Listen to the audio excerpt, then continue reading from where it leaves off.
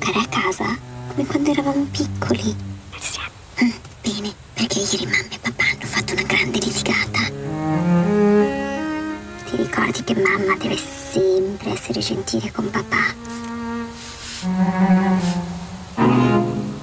Com'è andata la tua giornata, caro? Oh, oh. Non avrei mai dovuto dare il lavoro la tua sera alla tua amica come segretaria. Ma lei te ne è molto grata. Grata? Quella va in giro a raccontare storie su di me. Dice che io, io faccio cose terribili. Io, un uomo importante di chiesa come me. Ma che cose dice? Mm, dopo tutto quello che ho fatto per lei.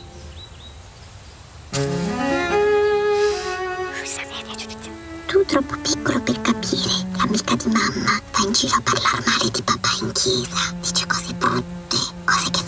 grandi, che fa stare male una persona. Ma no, non lo farebbe mai. Papà è una persona brava. E che cosa dice? Ecco che cosa si ritrova il buon Saramaritano per aver aiutato. Stavo solo cercando di essere gentile. Ma che cosa hai fatto? La tua amica è una bugiarda. Ma perché gridi così?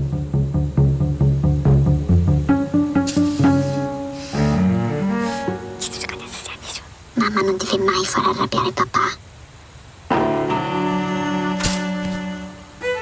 La tua amica ha mandato in giro una lettera alla chiesa dicendo a tutti che, che sono maleducato, che dico cose brutte, che, che l'ho toccato in un modo inappropriato.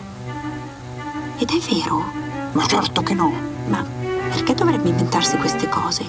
Tu dovresti stare dalla mia parte. Insomma, siamo sposati. Diva bambola, favore dimmi la verità. Mm, le ho solo dato una pacca amichevole.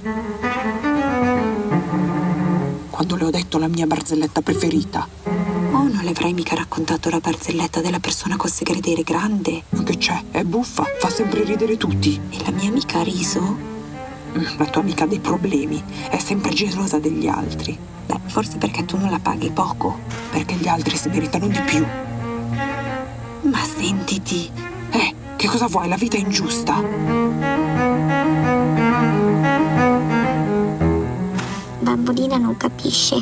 Le piccole persone non devono lamentarsi. Le piccole persone Non devono mai mettere le grandi persone in imbarazzo. Tu non stai ragionando in modo giusto. Non ti permettere di andare via. Torna subito. smettila di urlarmi così. Sono io che ti ho messo un tetto sopra la testa. È così che parli alla mia segretaria? Oh, per favore, perché voi fate sempre le vittime così. Se parli con la mia segretaria, non ti prenderò mai più indietro, mai più.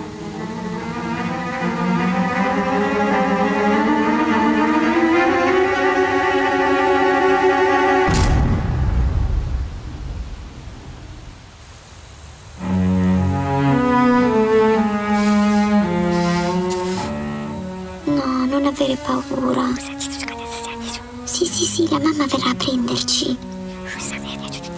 Mm, no, la mamma non tornerà. Non fino a quando papà non ammette tutto quello che ha fatto.